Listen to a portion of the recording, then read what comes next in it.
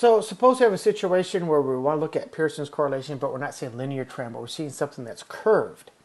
Um, we can use a non-parametric technique that's called Spearman's correlation. Spearman's correlation is really nothing more than Pearson's correlation, but rather than computing Pearson's correlations based on uh, the actual raw data, it's based on the ranks of the data. As you know, uh, the ranks are very commonly used in a lot of non-parametric techniques. Um, as such, we can apply it to ordinal data. And we should say at least ordinal, which means ordinal, interval, or ratio data.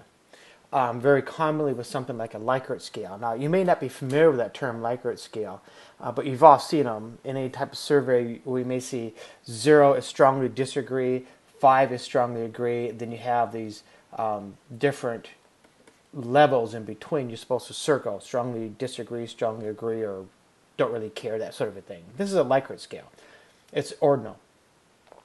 Now, Spearman's correlation is actually a measurement of monotonic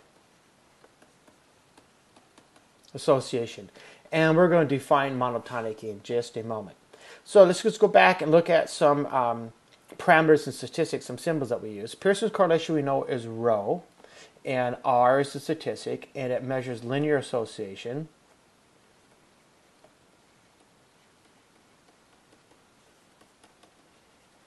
our Spearman's correlation, we use rho and we subscript it with an S to, uh, to designate or denote Spearman's. And likewise, the statistic will use R and use a subscript of an S. And this is monotonic.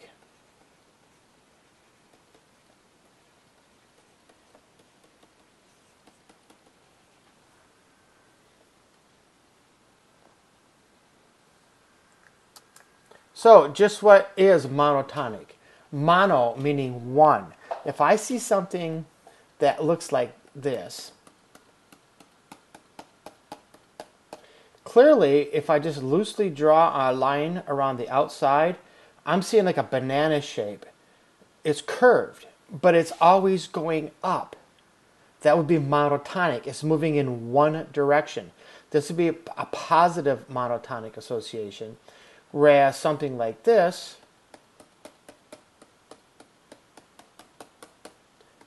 that would look in general to be a negative monotonic association.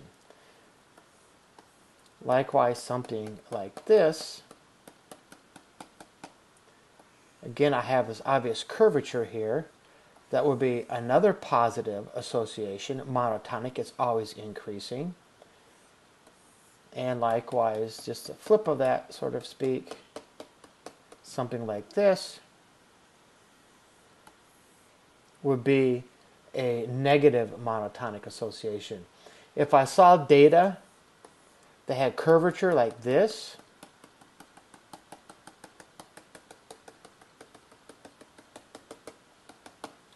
clearly there's lots of curvature here. This is not monotonic. I'm going up then down then up again. I mean, even if I cut it here, I went up and then down, that would not be monotonic.